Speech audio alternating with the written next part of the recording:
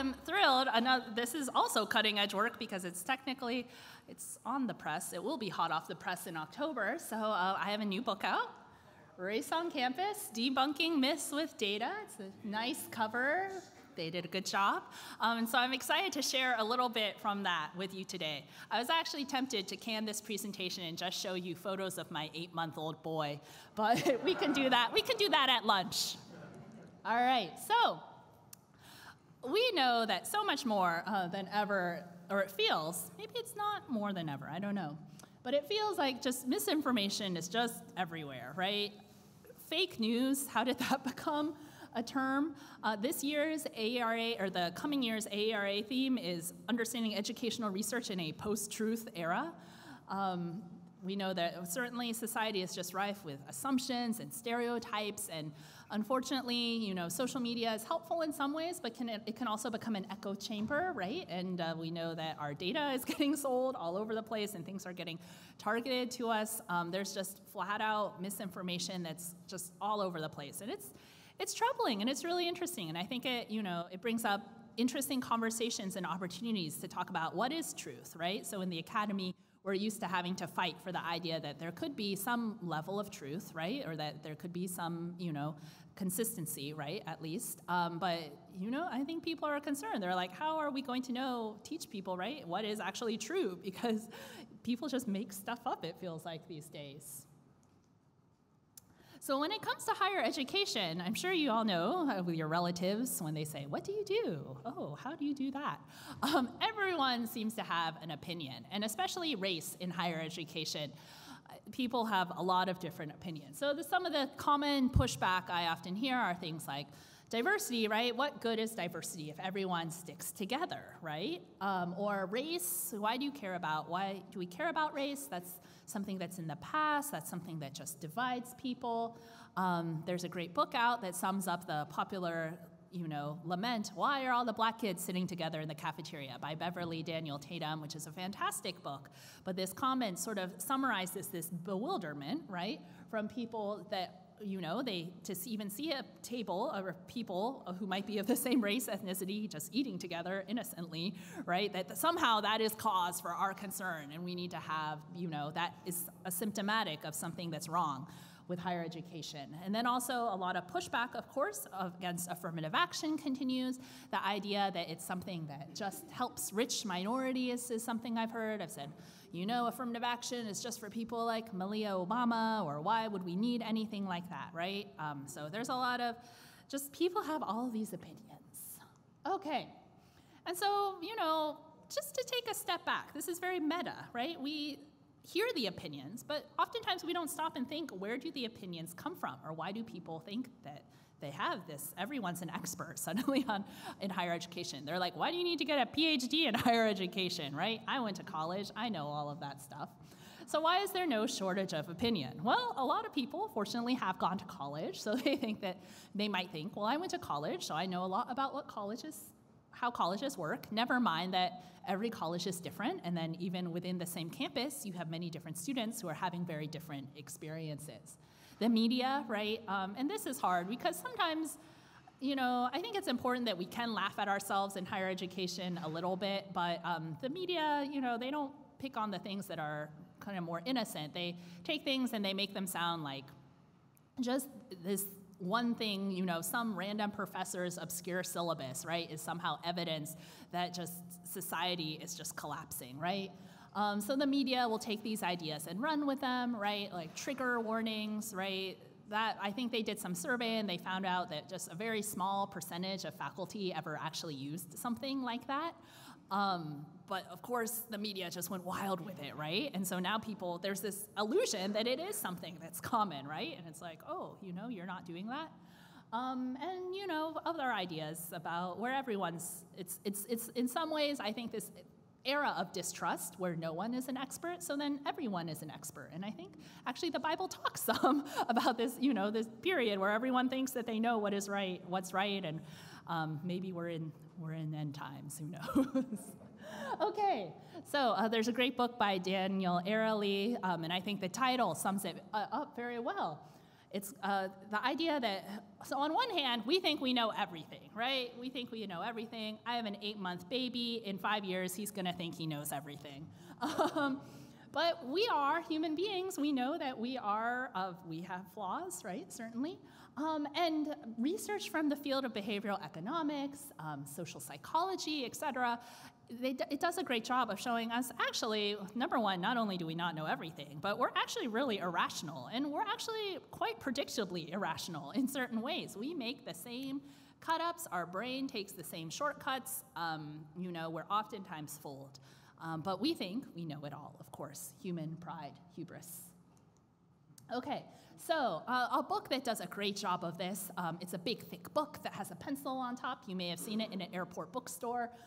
Um, Thinking Fast and Slow, uh, the pioneering work of um, psychologists uh, Amos Tversky and Daniel Kahneman, and they talk about, um, in their work, they talk about system one and system two. So they talk about how the brain, it has these multiple ways of um, processing information. And system one is the one that's more intuitive. It's the one that's more likely to jump to a conclusion. It's quicker, hunches. It's the one that has to go, go, go, right? System two, slower, right? More deliberative, takes the time to think about weighing other perspectives, looking for just confirming evidence, thinking, trying to look outside of just your individual purview. So two systems. Guess which one we rely on more? Anyone want to guess? System one, right? When your social media is like beep, beep, beep, beep, beep, beep, like how it's amazing anyone does any thinking at all, right? Any thinking. Spoiler, system one. System one. And you know what?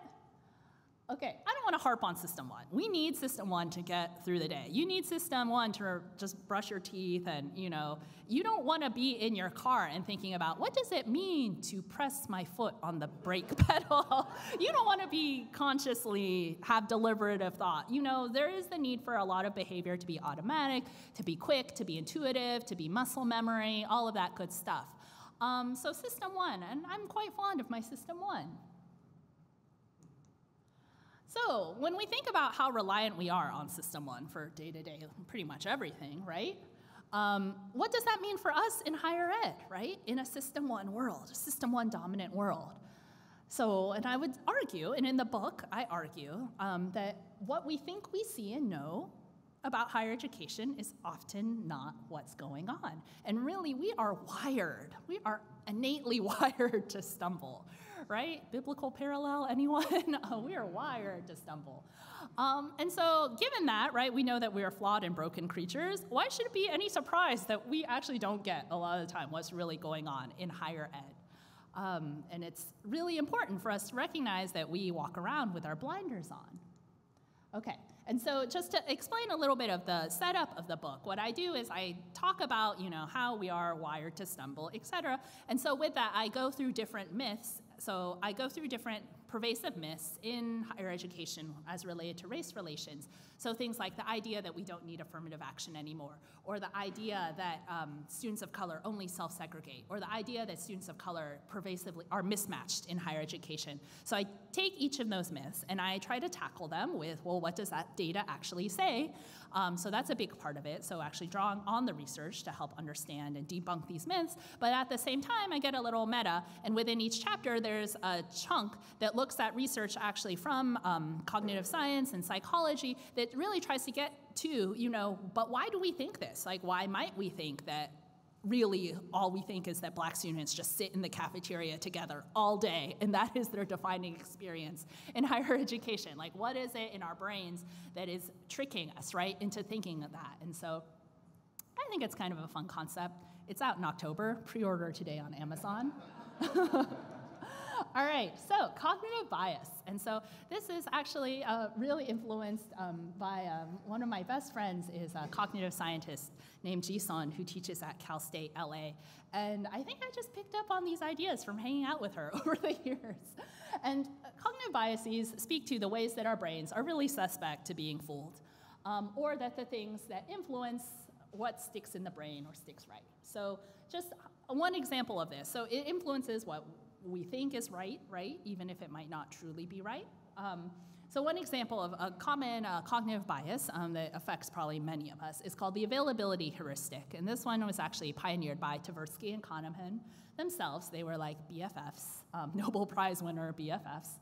Um, and it refers to how, for our brains, what sticks, the information that often sticks, is information that's memorable, but most of all, easily recallable. So it kind of sounds like self explanatory that it's easier to remember things are that are memorable. But someone actually had to document this because we would think, oh no, I actually remember things that are right, or I remember things that are tracked, backed up by data. And we would all like to think that of ourselves, but really we remember what's easy to remember. It's really easily recallable or available in our brains. And so something like I heard on the news, right? So you hear, so even though, for instance, fortunately, as a mother, I need to remind myself that cases of like child abduction or, you know, those terrible worst case scenarios that you see that happen to children, the rates of that have gone down. Thank goodness. I need to remind myself that. But you just, all it takes is to hear one case and they're all really terrible. And then when you're like a new, inexperienced first time parent, they just stick out in your head and they're easy to remember. And then that comes to define, right? That becomes the lens of, um, you know, new parenthood in America. Um, and so bringing this to higher education, the things that stick out that are easy to remember oftentimes are the ones where everyone's like, well, I know what really goes on in college. Did you hear about this? Right? So, example of the campus cafeteria, right? When people are like, oh, all the black kids and the Asian kids and the Latino kids, et cetera.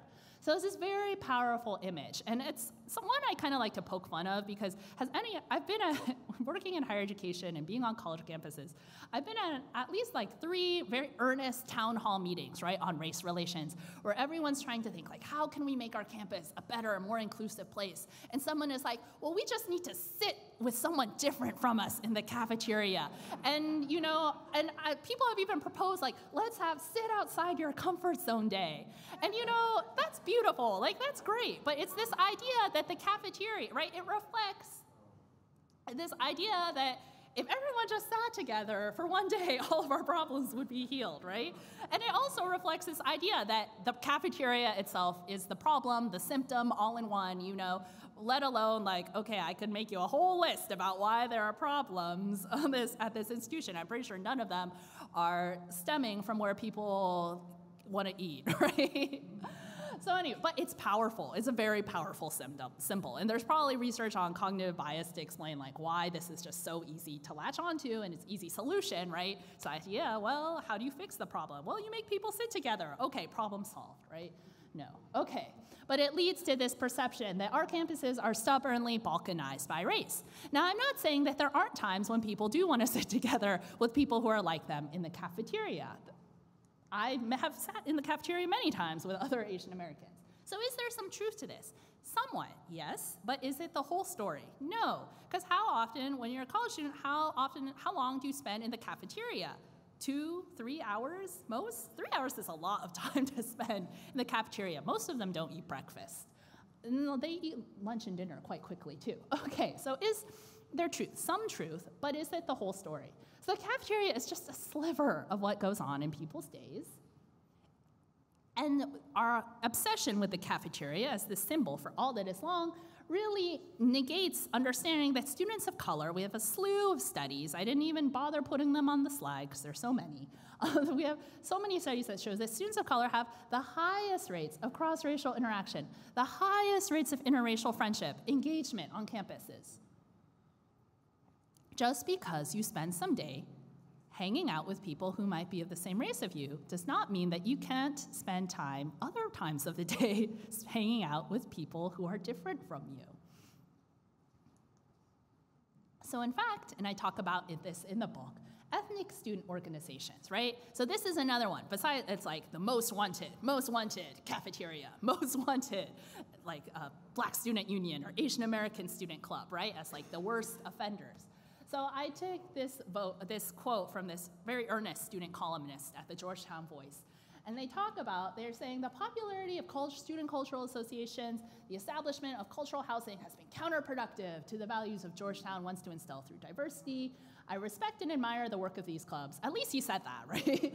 Oftentimes, the diversity advance also fosters an environment in which each ethnic group remains with their own. So, right, we often hear this self segregation. That's another boogeyman in higher education, race relations. Um, yeah, okay. So, why do people think, why, but why do these images, right? The cafeteria, the student club, right? Why do these people stick in their head? Why do these st- things stick in people's head? And I would say a big part of it is the availability heuristic. It's because they're memorable. They're easy, sticky targets in your brain. And especially if you're used, our society socializes us to think that white people are sort of the norm. They just blend in, right? So, you know, it's funny because I used to work at Miami University in Oxford, Ohio, which is a great place, but it was at least 80% white. And you had tables and tables and tables of white people sitting together, and people still ask me why the black students sat together. And I was like, come on, can you give them a break, right?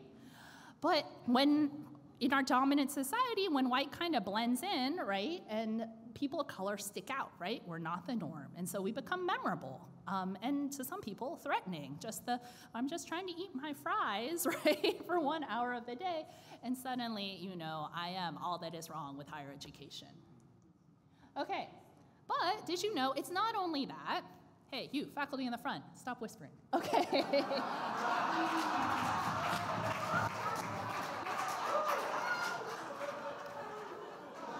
I've known Chris. uh,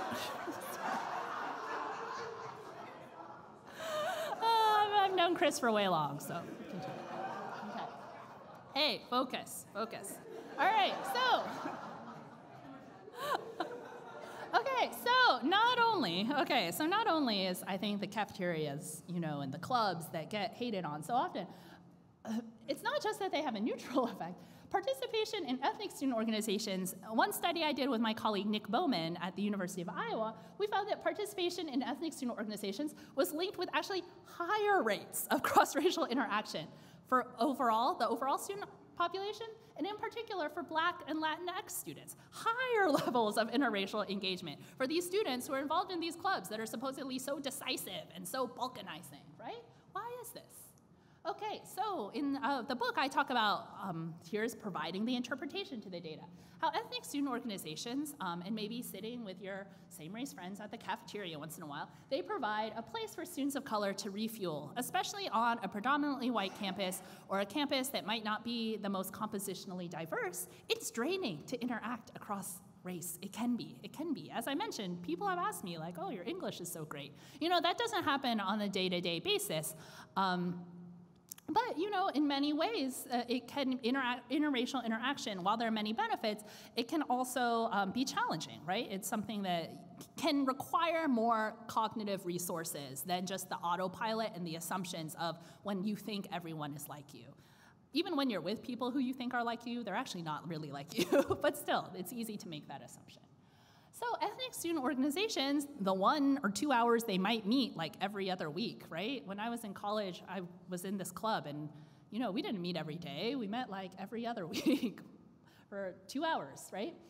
So these organizations can provide a space where students of color can refuel from these cognitive depleting interactions um, and go back into the community to engage across race. Um, and you know, it's not just that it's cognitively depleting sometimes to interact continuously with people who are different from you, but you can think of the more different you are, the more likely you're likely to get questions, right? About, you know, where are you from? Or um, what was it like at your high school? Or questions that might even border on the line of racial microaggressions or questions that show utter ignorance, and you're having to explain yourself over and over again. That can be tiring right? So just being able to spend an hour or two once a week, every other week, in a space where you might have to answer other questions, but you're not going to be answering the questions that are linked to your racial ethnic that question of like why is your hair like that? or you know why do your parents where's your parents come from? etc you might be answering other questions but you're not answering the questions that you might in a more predominantly white setting and so our theory you know our working interpretation of the data is that these involvement in these groups gives students of color a place to refuel, so then they can go out and interact more across race. And they actually have, um, there's a documented, at least correlation, right, higher levels of cross-racial interaction, so which we found when controlling for other measures as well. So, just to summarize, um, the availability, availability heuristic so it can help us explain why things like the racially divided cafeteria and the ethnic student organizations, why those things, they're easy to remember, right?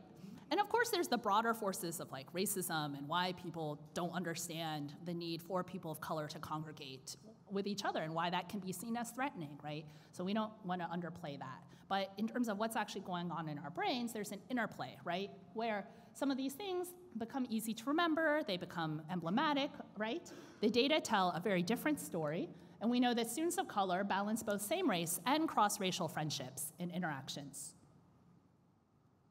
And not only that, but a healthy campus racial climate supports both same race and cross racial engagement in interactions. And so it's not just one or the other, it's more of a both and. Okay, so why do we have so much cognitive bias, right? Why are we wired in such problematic ways? Well, life is really busy. There's a lot of stuff to remember. You know, I have to write stuff down or else it just falls out of my head these days. And our brains go on autopilot. And this is actually part of the actual justification and explanation for why diversity in higher education matters. Because we are oftentimes on autopilot. We make assumptions about how the world around us works. But then when someone from a different background, and oftentimes a different racial ethnic background, who says, hey, actually, that's not my experience. Let me tell you something different. Or when I was an instructor, or when I was a first time professor at Miami of Ohio, I had a really powerful moment in the classroom where I was talking, I was giving, I was making fun of my mother, basically, and I was talking about this story where when we were little, she would threaten us, like, if you don't do this, and her threat was, her very problematic threat was, you're going to marry a truck driver. That was her threat, right?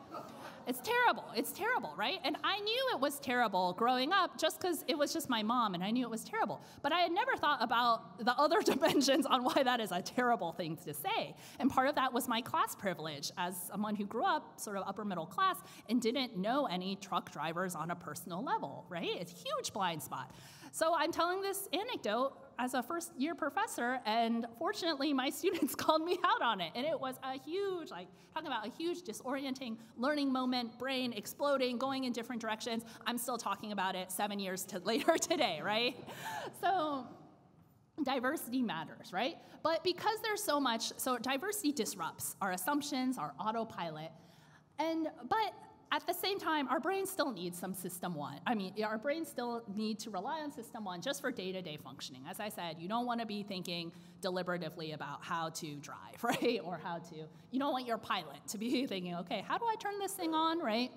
So, system one is there, right? It's here to stay.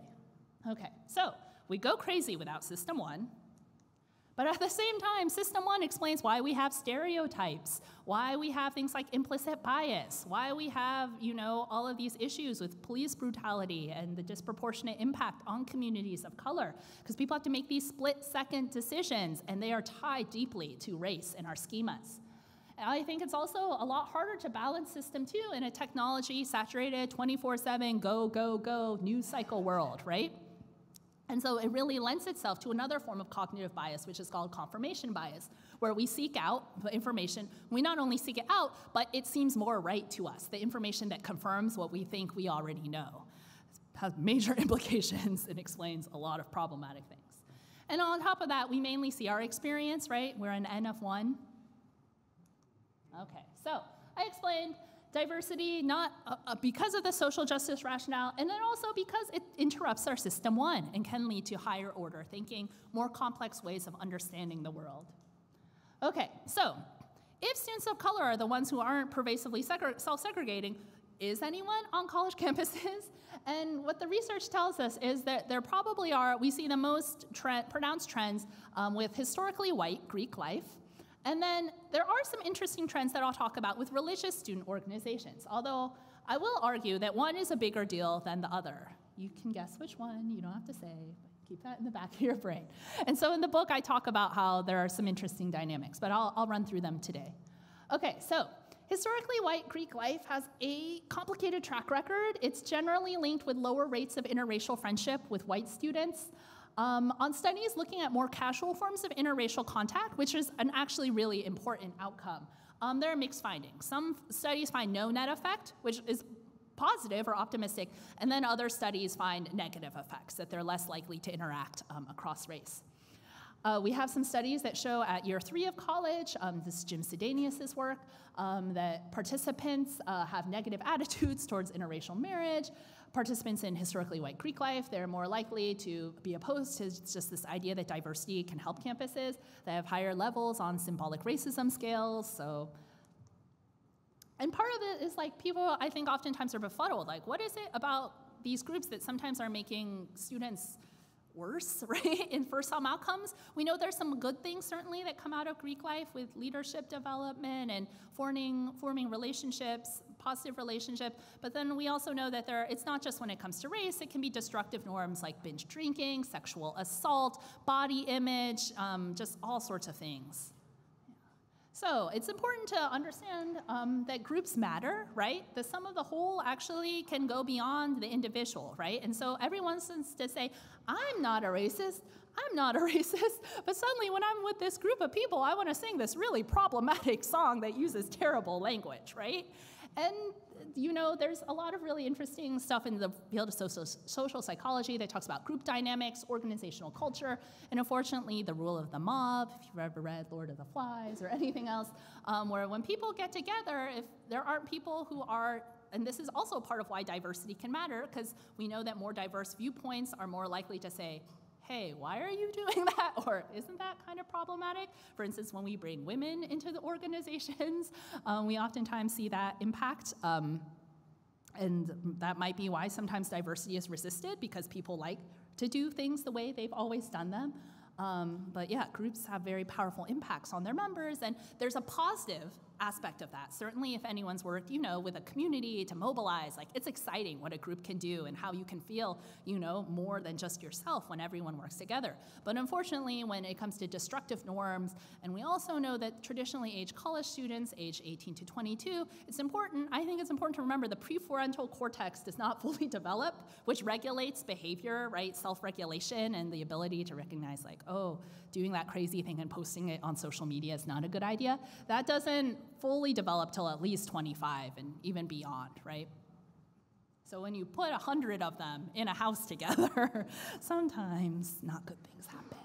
Okay, so just examples of some of the things that have come out of uh, Greek life. Uh, there's that terrible incident at the University of Oklahoma, just absolutely terrible.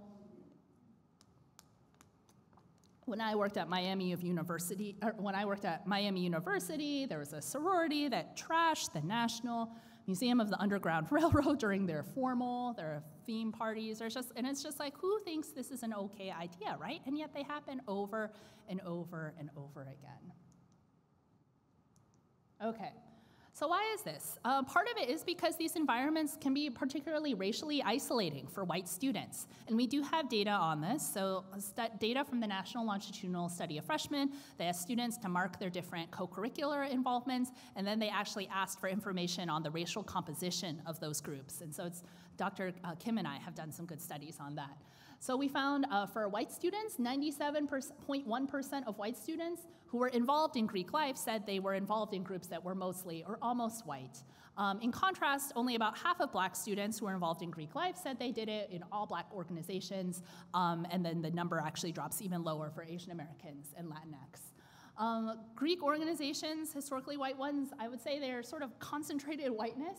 Um, and I've done some research um, on sororities, and it was interesting because the most elite sororities were not just uh, mostly white, they were affluent and white, or all white. Um, and we have some also other information research that talks about how it's not just white students who have the most racially homogeneous friendship groups. All they do, they do, but affluent white students have the most racially homogeneous friendship groups. So there's a lot of interplay that can happen between race and class.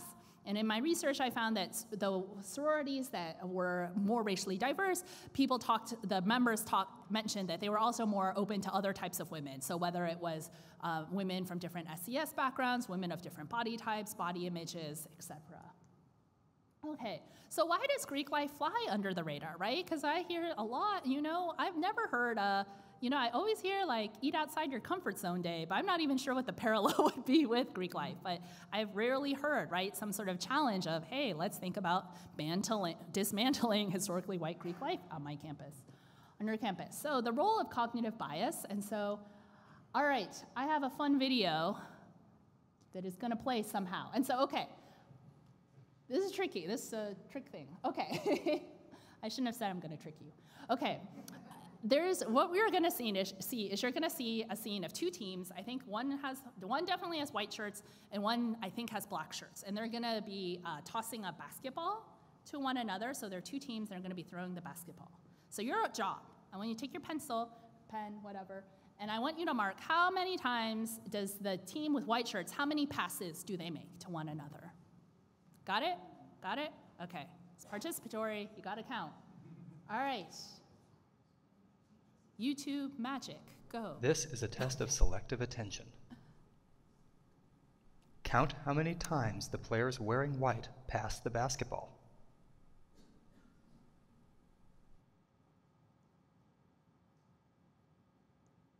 Are you counting?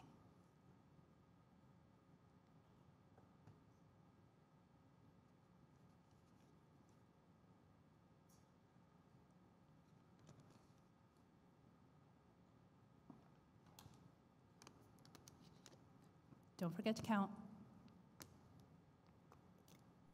How many passes did you count? The correct answer is 15 passes.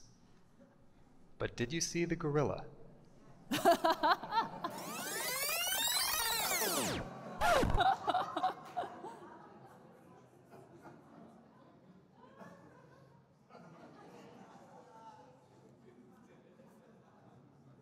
This video is from research by Daniel Simons and Christopher Chabris. And is copyrighted. It is available for use in talks, training, and teaching on DVDs from Viscog Productions. They have a book. It's actually really good. Okay.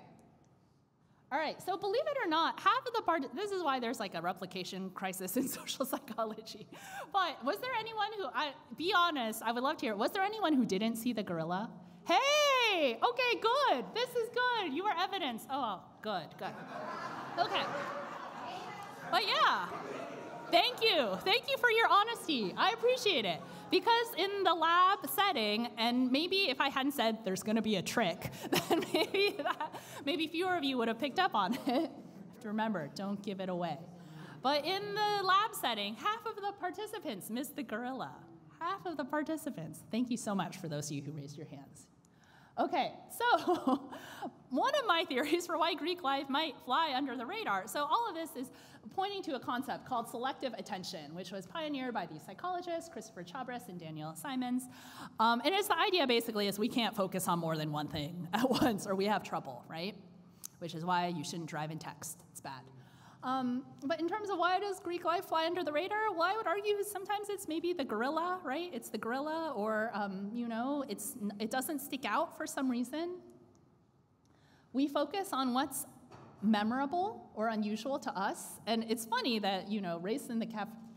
It's not that racing in the cafeteria is more unusual than a gorilla, but we focus on what's unusual. So, race in the cafeteria, right? That's unusual to a lot of people. They're like, I'm not used to seeing a group of black people or a group of Asian Americans sitting together. That's a little weird to me, or that maybe even, you know, makes me feel like this isn't my cafeteria, etc. When under the radar, you might miss that there are these houses of like 100 students, most of whom are white. right down Greek row, right, etc. So it's it's this idea that right, our brains trick us, and students of color are usually the ones who are pegged, right, as being the problem. The problem. They just stick to each other, right? When really we have, it's not that all is perfect with students of color and diversity and everything, but we have a lot of problems. we have a lot of problems in higher education.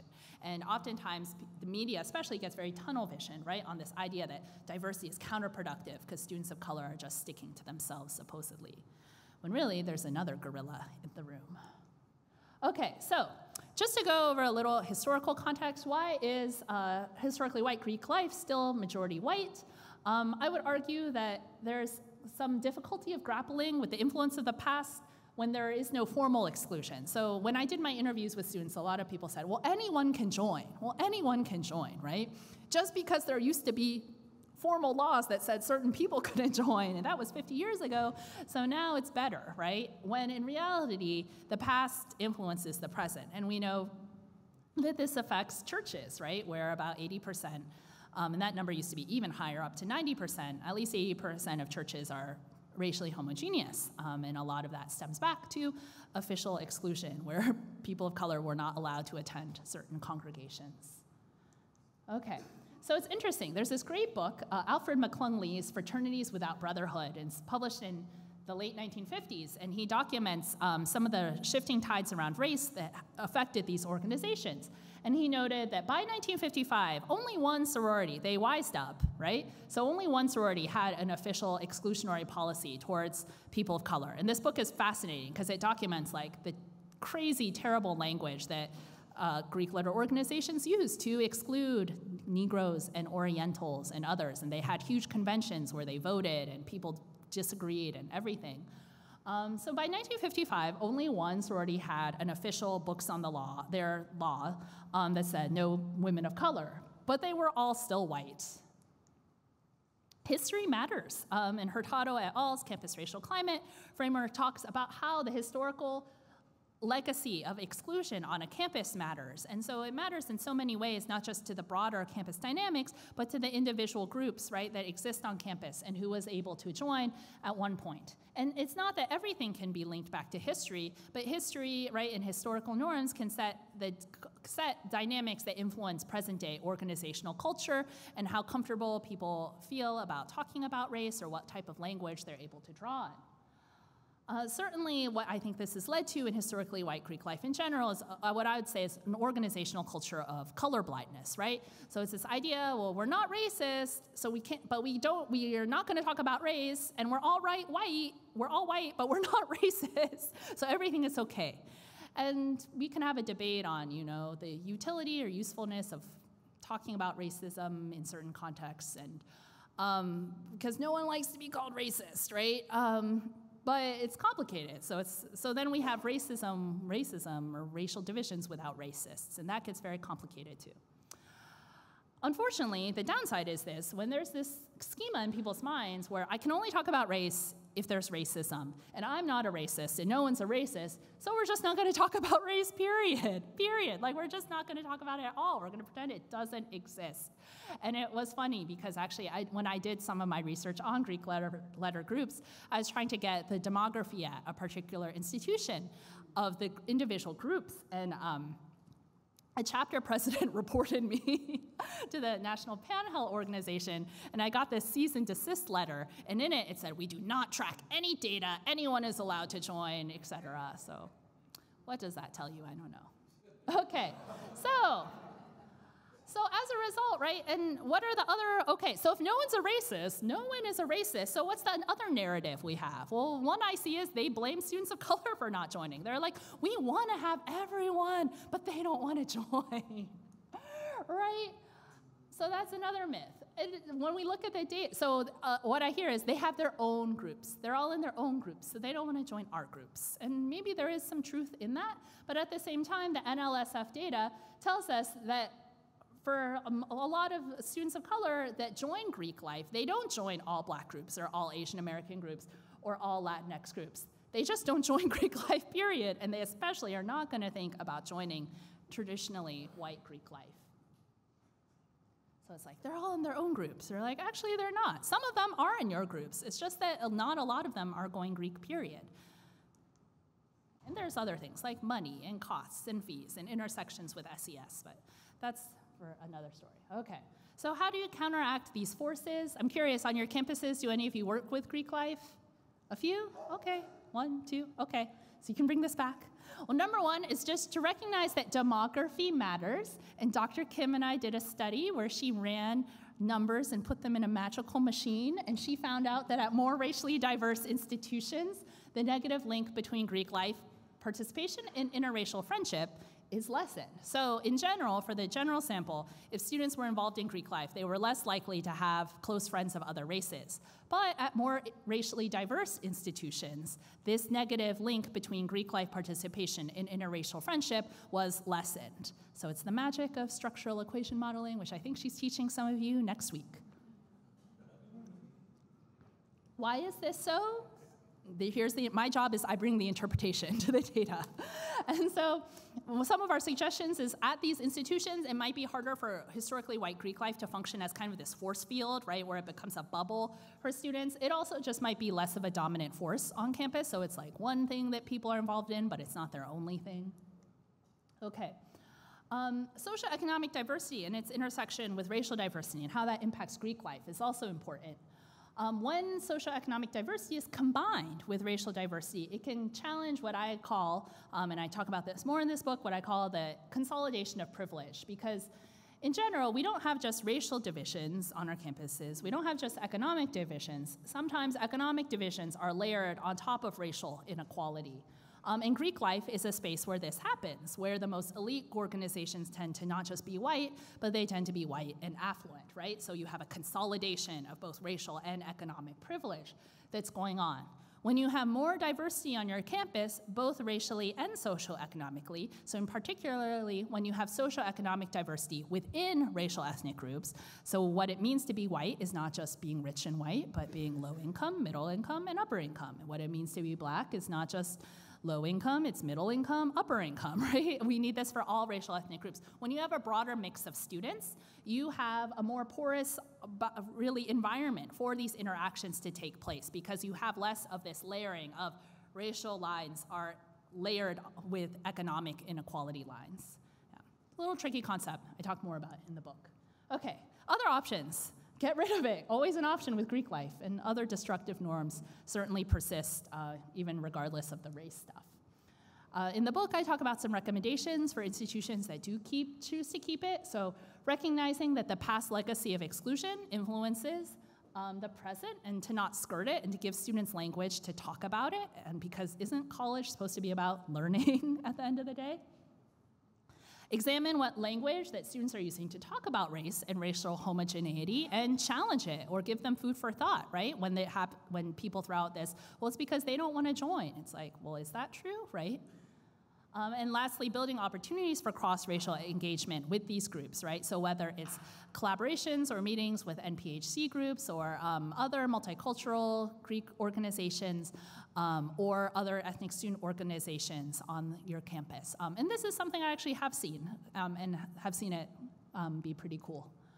Okay, so religious student organizations um, race and other spaces. In my studies with Dr. Kim, we also found in general a negative link between participating in religious student organizations and uh, the outcome of close interracial friendship. So you'd say, oh, what's going on with that, right? Well, we know that religion, as the entire first talk talked about, is the often divided by race in US society. Um, and only about 14% of religious communities in the country are multiracial. So a lot of the pre-college socialization that students are getting in religious communities tends to be same race. And so this is for people of color, and there are reasons why that is, and that is also true in general for white people, and there are complicated reasons for why that is. Okay, so is it all bad? No. Immigrant communities are a critical bedrock of support, and um, communities of color, that's my entire first talk.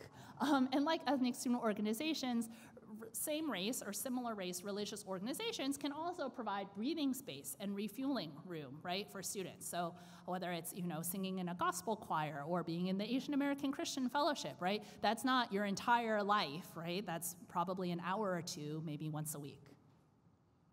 Okay, I talked about this, pre-college stuff. Okay, we found that uh, white students are most likely to participate in same race religious organizations. So they are not to the same extent that Greek life is, but it is a more racially uh, isolating environment for white students than other students of color, than Asian Americans, and then I think black and Latinx students. Okay, so there are some findings uh, that I want to unpack really quickly. And so in general, uh, studies I did with Dr. Kim, we found that um, there was a negative link between religious student organization participation and interracial friendships. So if you participated in these groups, you were less likely to have close interracial friendships. However, in another study, we found that students who identified as more religious generally um, had higher levels of cross-racial interaction. What do you make of that? Um, and there was no effect, no net effect on general cross-racial interaction. And then also religious minorities in particular, students who were Hindu, Muslim, et cetera, they had higher levels of cross-racial interaction too, and that's even when you accounted for race. So the story is religious student organization participation, lower close interracial friendship, but higher, or if you're more religious, for being more religious, higher, more casual contact. And so, actually, in the story that we tell, I tell in the book, um, and in some of my other work, is we talk about how um, involvement in these religious student organizations, they might influence your closer, if they're more racially homogeneous, they might influence your closer friendship network. So your close friends um, are more likely to be same race. However, it doesn't seem to be preventing broader cross-racial interaction, which is actually a really good thing because we see higher levels of benefits that are linked with the more casual le um, level of interracial contact. And part of that is because of when going back to the benefits of diversity and how those things work, those tend to come from encounters that um, can spur cognitive dissonance. Um, and more casual encounters, you can have more of them, right? So you're increasingly exposed to non-redundant information, information that is different, right? When you have a broader network of diverse peers. And that's really important. On one hand, interracial friendship is a beautiful thing, but at the same time, you can only have so many close friends, right? And you learn their story, and that's great, but you only have so many. Versus if you're constantly interacting across race, regardless of the race, ethnicity of your close friendship, you're being exposed to hopefully non redundant information, information from diverse viewpoints, et cetera. And so it's really important to be able to have that casual network of interracial, uh, casual um, and but also meaningful network of um, interracial contact. And so that's also a similar story for ethnic student organizations, where it's not, it's no problem if your best friends are Asian or for me or, you know, of your same race. That's no problem. It's that you need to have that accompanied with a broader network of diverse peers. And so that's why uh, racial diversity in the workforce is especially important because we know that's a huge avenue where people are more likely to have sort of more casual interactions, um, et cetera. Okay. So, interestingly enough, those who identify as religious tend to have, it seems, higher levels of more casual cross racial interaction, which is a good thing. Um, and also higher cross racial interaction for religious minorities. Okay, so you can have both, right, with religious student organizations. You can have same race and interracial interaction and friendship. This is especially important for students of color um, and white students also need to be especially proactive on the interracial part because what we see with the patterns with white students in general is that sometimes they lack both the interracial friendship and the interracial contact. Um, you need both, right? Okay. And the status quo of people in general is that they hang out with people who are like them. So there's a lot institutions need to do to counteract them. Um, it doesn't need to be 24 7 interracial interaction um, but there does need to be some level of that. And that can be done. The research shows that things like, for instance, interracial roommate pairings have a big impact on the racial diversity of people's networks. It can be done by supporting things like service learning, uh, the, having a diverse classroom, and so especially the demography of the institution is essential because without diverse students, you can't have diverse interactions. Okay, all right. Okay, so wrapping it up, thinking of who's, quote, self segregated. It's easy to miss the gorilla. Thank you for the honest of you, uh, those of you who were able to say um, that you did not see the gorilla because you're in good company. System one is very strong, right? And for good reason. And same race community needs to be paired with interracial engagement. And so thinking of system one is strong, so thinking of, well, how are you going to go to system two? So you don't want to be all system one. So think what checks and balances do you have in place, right? So you are looking to system two. So you don't want to can your system one, but you do need to have resources that can help you think about system two. And so with that, it's sort of a commercial sometimes to slow down. I know it's hard, or to seek out, especially viewpoints of people that you know are um, going to disagree with you, or maybe are going to challenge you or push you to see an issue in a different way. Those are some of the precautions that we can take. Okay. Engaging with devil's advocate, recognizing that we are irrational to begin with you know? Um, recognizing also in the book I talk about information, unfortunately, information on its own does not always change minds. We think it's the answer. Good information is the necessary, it's absolutely necessary, but I'd say it's insufficient. So there are all the other things that we need to think about creatively to think, how can we get people to believe good information or information that is correct? And then seeking out the data from multiple sources. All right, so in closing, um, don't be afraid to find your own blind spots, because that's actually a cognitive bias called bias blind spot, blind spot bias, and we all have them. Daniel Kahneman, the Nobel Prize winner who wrote this huge book, talks about his own blind spots, right? So if he has them, I'm proud to have them too. And certainly the importance of seeking out the outsider, the marginalized, and bringing them to the table, um, because that is what is going to push us um, to be able to see the world differently than our own silos. All right, thank you very much.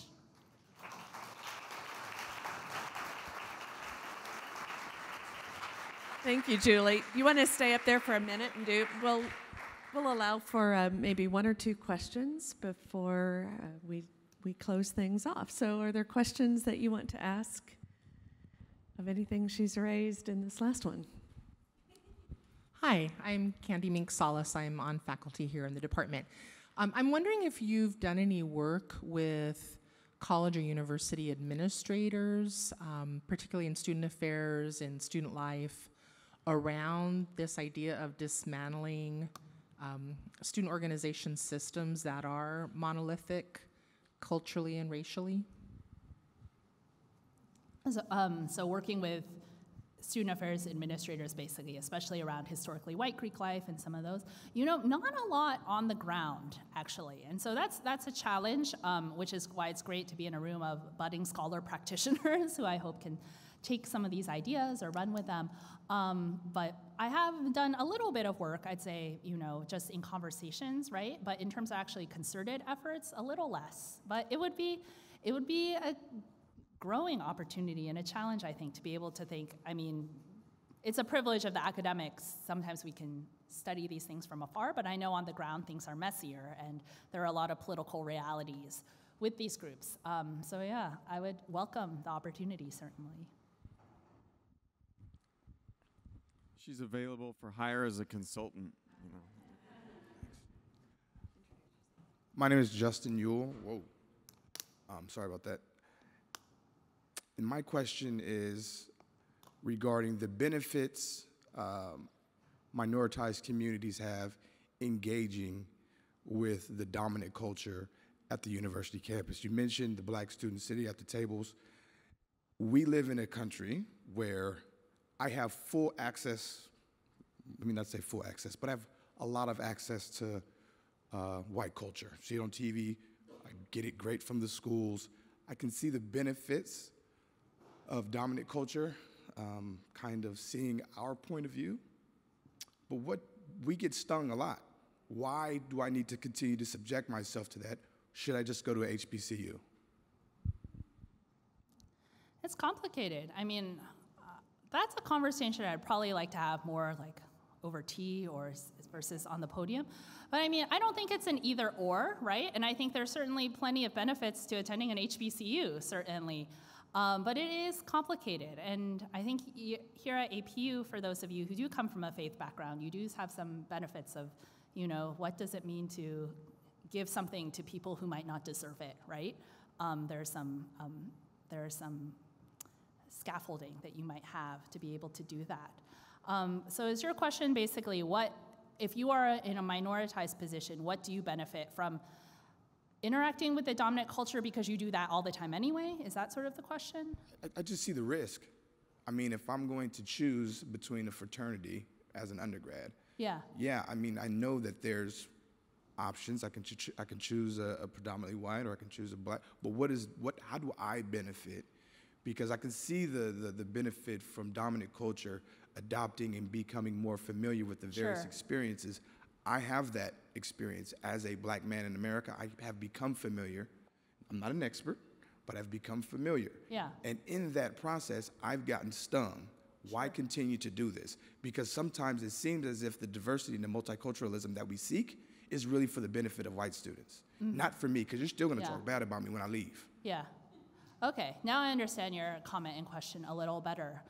Yeah, I would say, I mean, the question is how do we make it work better, right? That our existing systems are flawed and broken.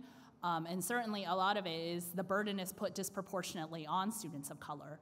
And so in terms of what obligation do you have to do additional like cross-racial engagement? I would say it, it just varies individual by individual, but I don't know if there's it's life, right? Like we're going to be interacting across race. Like even if I spent tons of time with my Asian American family and my Asian American church and my Asian American friend group, I'm still constantly interacting with dominant society. So I would say for the person, I mean, it's all about the choice of how you want to balance those worlds. And I don't think, I mean, white people or the dominant population is in the privilege where they can opt into those opportunities. I'm not sure we always have that choice, right, to opt in.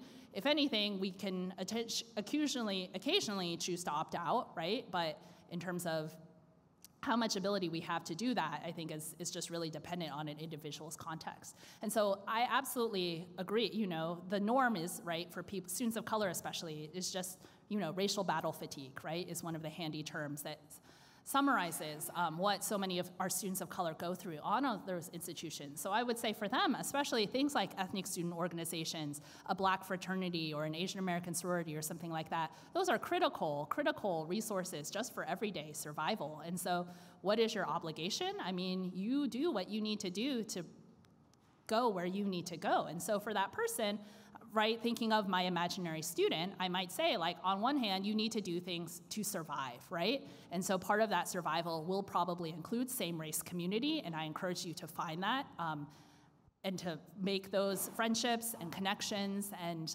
find, you know, your spaces where you will be challenged in other ways, certainly, right? Whether it's across gender, across other issues, but you need that time where you're not having to constantly answer questions about your race ethnicity.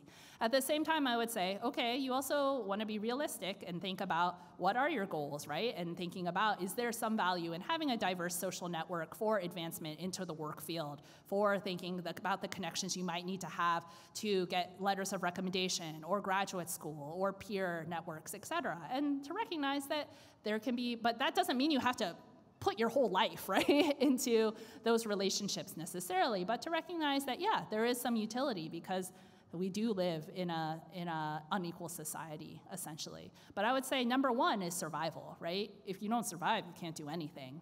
Um, and so for me especially i mean for me specifically same race community has been a space of survival um, and a space of um, yeah being able to make it through predominantly white spaces. Um, it's not everything, but it is a huge part of my life. Thank you so much, Julie. Let's give her another round of applause. Thank you.